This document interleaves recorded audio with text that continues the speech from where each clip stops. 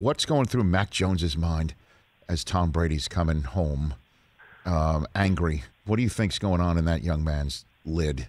I week? think he's excited. Listen, he's playing well. He is playing really well. His eyes are. You talk about a guy that's jumped in, and taken from the grease board to the white lines. He is. He's dialed in.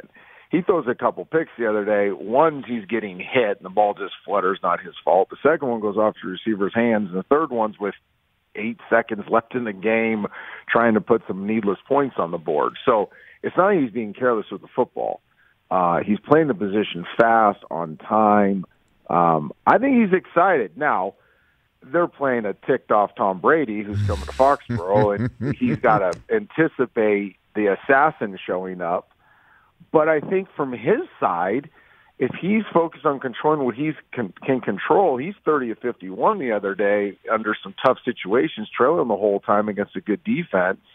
Uh, the wind's blowing. He's knifing it through the wind. He's making some plays with his feet. He made some off-platform plays. Like his confidence is only growing. And I think you know any young guy. It, listen, to play quarterback, you better be a legend in your own mind.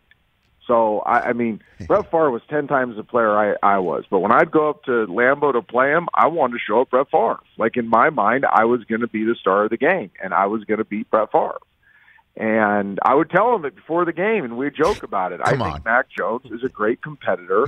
is going to have that mentality. Like, come on, Tom, bring your best. I'm going to play better than you. So if Mac Jones took your approach the way you did to Favre and Lambeau, would he go up to Brady and say, "I'm going to beat you today"? Like you look? No, I- it's more of a joking thing, but he'd also be 0 and 10 in Lambeau, like I was. so, listen, I'm not saying it's good strategy. I'm just saying you have to have that mentality.